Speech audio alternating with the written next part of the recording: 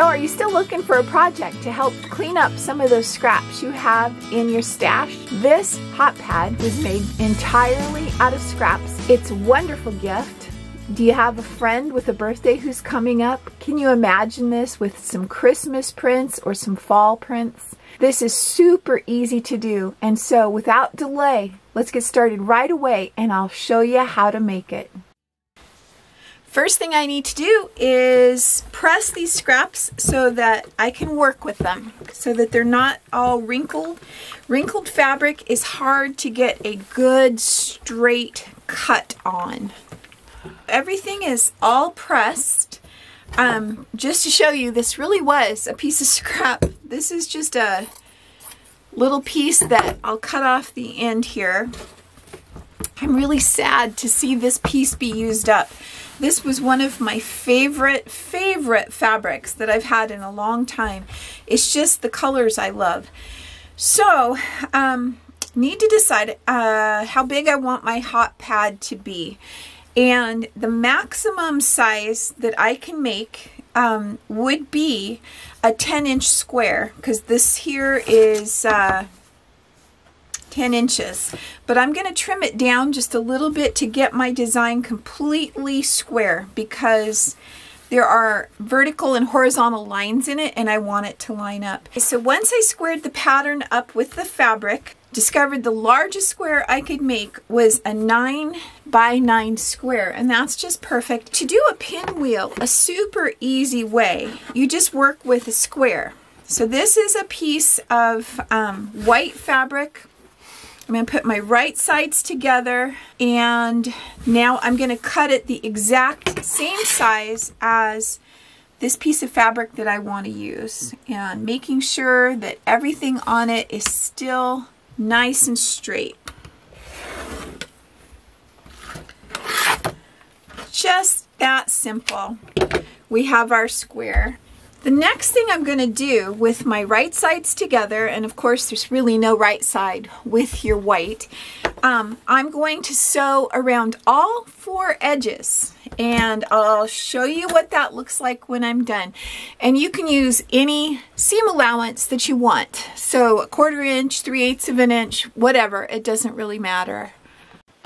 So I have sewn all around all four edges and I just ran off the edge and then started back and went down this way. Did all four edges. I used a 3 8 inch seam just because. And so now the magic happens. Take your ruler and you're going to cut right in the intersection of all your lines. So I'm going to go from diagonal to diagonal, just lining up exactly from corner to corner without moving it. Just like that. I'm gonna fold these out and press them to the dark side. And what that means is I'm just gonna push the fabric over to the darkest fabric. And the reason you do that is um, it would show through the lighter fabric. So there's one. Take it and just slide your iron across. There's two. Try not to do any stretching anywhere. There's three and four. We need to find our pinwheel. So this way, this way, this way, and then this way. Nope. See how tricky it is? This way. So you lay it out so that you have your pinwheel. You put these two sides together and you sew down this side. Straight down like that. Then you're going to put these two sides together, lining them up, and sew down this side. And then we'll sew the two of them together. I'll show you. So I matched up my sides and I just again used a 3 8 inch seam. And the only reason I'm able to do that is I'm keeping it consistent and I'm only making one square. So It doesn't have to be consistent over a number of squares, just this one square. And so I sewed it and now I'm going to press this one flat. And I'm just trimming off, these are called little dog ears. You're going to trim those off even. You just get rid of some of that um, extra fabric, which is called bulk. When you're sewing, you want to get rid of as much of that bulkiness as you can. All right, so I'm going to press these flat and then sew them together. So my two pieces are completely pressed. You can see how nice it looks on the back. This one's pressed, and so keeping my pinwheel going correctly, you got to double check. All right, I am going to put these two together and because we press the same way to the dark each time, these this center seam here where there's the most um, seams that are all lined up, this one goes this way and this one goes this way. It's just perfect. So I'm going to take this and sew straight across and I'll be right back. So you can see I got a really nice little point here in the middle and um, when I was starting out sewing, I made sure that was lined up. So now I need to press these seams one way or the other. You're not going to be able to press to the dark side on both sides. So just pick one side or the other to do this center seam. Seems to want to go this way. That's the way I'm going to press. Okay, so here's our square. I'm going to trim off exactly the same as this edge, these little dog ears that go all the way around. The next thing we're going to do is take our piece of backing fabric and just double check. Yeah, we still have lots of room around the edge. So there's that. We're going to take our piece of batting that we have, trim it up. Well, you have a lot of options. You could tie it instead of uh, quilting it. You could quilt it with uh, free motion quilting, which would be adorable. Uh, we're going to do it with straight lines just because it's easier for a beginner. So because we're going to quilt this, you have to attach it somehow. I'm going to use my 505, uh, 505 temporary fabric adhesive. This stuff really does have a smell to it. So if you're going to use a lot of it, you should be using it um, with a window open. So just a little squirt and put my square on. And just that easy, it's all put together. Now, if you don't want to go buy this, then you need to um, use like safety pins or something, some regular pins to hold this quilt sandwich together while you work on it. So I'm going to bring my machine in and I'm just going to do a little stitch about a quarter inch from each of the seams all the way around and I'll be right back.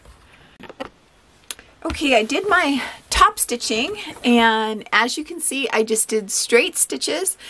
The um, key to doing um, straight stitch quilting is to be sure that your lines go really straight which makes sense. Um, I had to use my older white sewing machine. My um, Princess sewing machine, I think, needs a day at the spa. Uh, which reminds me to remind you that about once a year or depending on how much you sew, it really is a good idea to take your machines in and let them be serviced. Um, they just get a little wonky and um, some more than others, and it it's expensive. I know it is, but it really does make a difference in your sewing. So the next thing I'm going to do is take my rotary cutter and I'm going to square this up one last time. I had this little scrap of fabric when I squared it up and I'm going to just sew sew it together and make a uh, hanging tab. So have you ever sewed a little tube like this and you wonder, how am I going to turn that right side out? Well, here's a trick. Take a safety pin and put it down just a little ways here in the back, on the back of your fabric. You don't want it super close to the edge because you're going to be pulling on it and you don't want it to just pull out. All right, so then take it and face the end of your safety pin down inside the tube and just wiggle it like you would when you're putting um, a casing. So just like that. And it's attached to the back. So it's going to just turn it right side out. So now I have my tube turned right side out. I'm going to press it and I'll show you what we're going to do with it. I'm going to show you a cheater way, is what I call it. It's I use it quite a bit uh, to do a binding. There are fancier ways, and I'll show you one of those sometime. But for today, we're just going to use our, um, our simple way. So this piece here was two and a half inches. It was in my stash. It's the full width of the fabric, and I double checked to make sure it would go around, and it is big enough. So I cut the end off square folded one end to the side over here, then you fold it back up, and you've made a little pocket. So we're going to lay it on our, our piece, and we're going to give it a, oh, two inches here, leaving it open, and start sewing right here. So here's what it looks like on my piece. Here is the opening. I'm going to start sewing here and I've also marked a quarter inch from the bottom and put a pin right there. Or you could use something to mark it, but a pin actually shows up better because it sticks out past the edge. So now I'm going to start sewing at my first pin and sew straight down and stop right there. And I'm going to use uh, a quarter inch seam. Okay, so I've left my opening, I've sewed down like this, I left my quarter inch down here at the bottom.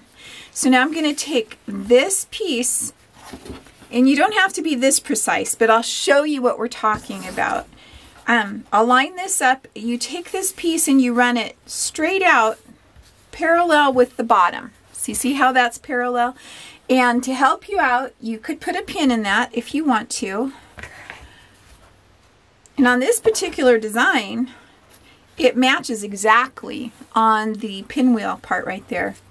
Then you take this and you flip it back this way and you line it up exactly on the edge right here. See how that fold is right there. You can see how this is folded back and this is folded up exactly on the edge right there. Now we're going to turn this around. This pin is out of the way and we're going to start sewing a quarter of an inch from the end, which means that folded part's over here and not getting sewed. So start a quarter inch there and do the exact same thing on all three remaining corners. Okay, so I'm ready to do the magic with this binding here. So here's that little pocket we left right here. I cut the binding so it's just shorter than where we started sewing. I'm going to open this up and place it inside. Tuck it up so it's nice and neat, right from the fold into the fold right there. Make it nice and flat.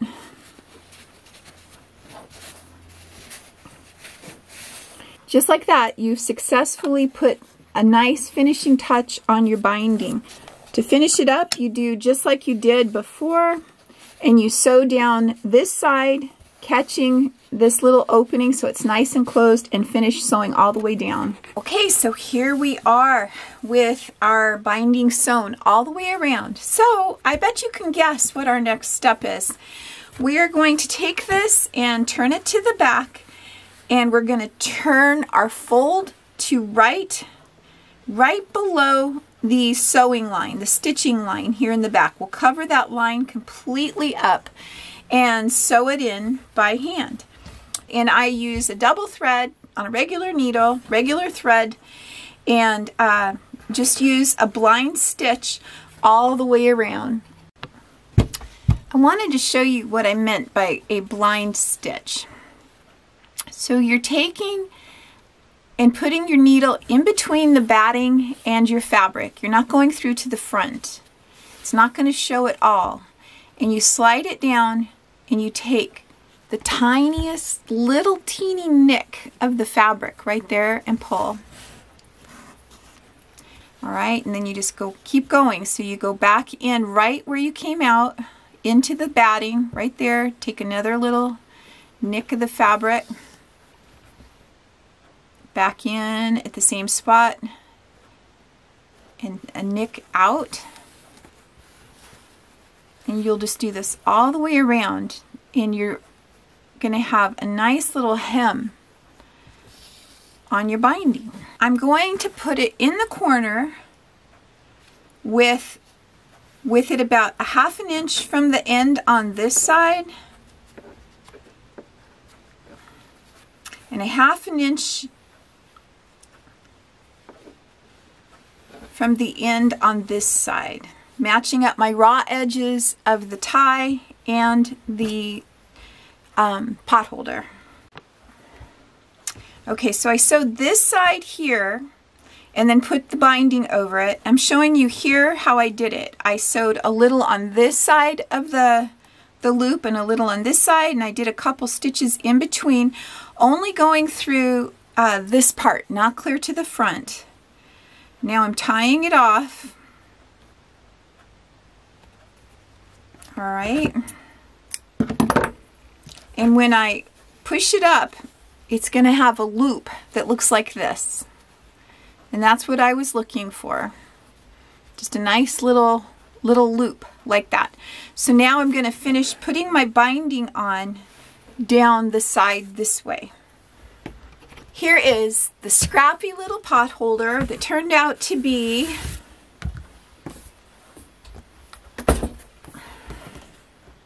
ten inches square with just some scraps that you have in your scrap bin you can have this. So until next time this was Cindy from Vintage to New